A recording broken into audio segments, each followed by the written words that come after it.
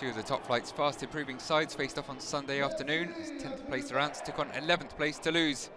With just one point separating the teams in the very middle of the league table at kick-off, there was little to choose between two sides who've been in good form since the World Cup break and had their sights fixed firmly on continuing to climb the table. Toulouse had won three of their previous five games, losing the other two to the top two of Paris Saint-Germain and Marseille, whilst Reims incredibly remained undefeated in the league under interim manager Will Still, tally taken to 16 games last weekend, which also amounts to the best unbeaten run in the club's top flight history. And it took the hosts just four minutes to take the lead here. Junya Ito slipped through on goal and calm as you like, taking his time and putting Reims one up.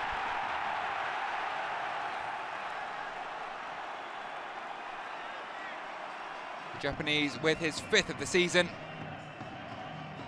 sitting Maxime Dupé down and then slotting the ball into the bottom corner.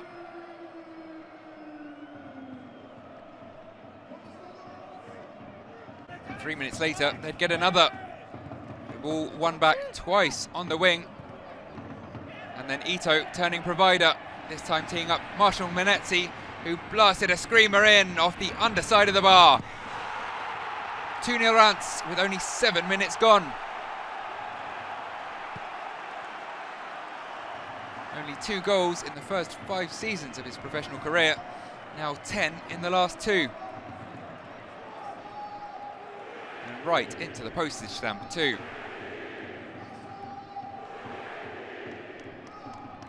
Visitors had scored in each of their previous 10 games. Thijs Dallinga netting five times in his last six.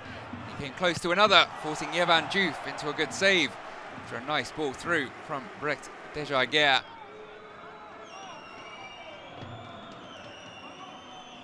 And Diouf was on hand again to gather up Erasmus Nicolaisen header. Danish centre-back totally unmarked from a free kick, perhaps lacking the power to beat Laurent's keeper.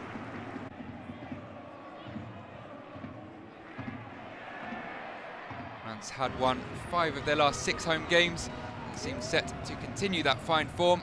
Two goals to the good at the break.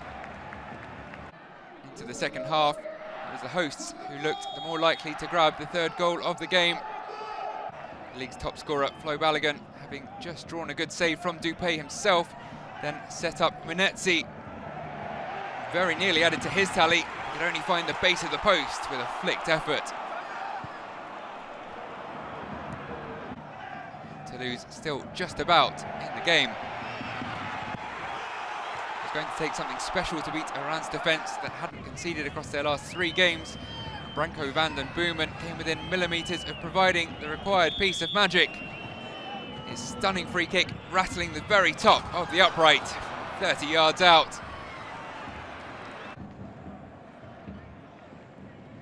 But shortly after, the game would be put to bed. Captain Yunis Abdelhamid wrapping up all three points for Les Rouges et Blancs with his first goal of the season.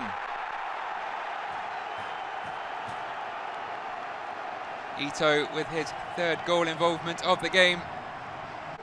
Another assist as his corner was clinically nodded home by the big centre-back with 20 minutes remaining. The result may have been wrapped up, but of course, if you're fighting it out at the top of the scoring charts, you're not going to stop pushing for goals. Balogun, though, only able to make it three strikes off the woodwork during the match.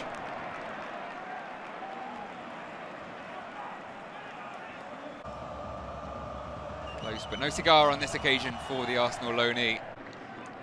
Reims avenge their recent cup loss two to Toulouse with an emphatic 3-0 victory and extend their incredible unbeaten run to an astounding 17 games. Will is still undefeated.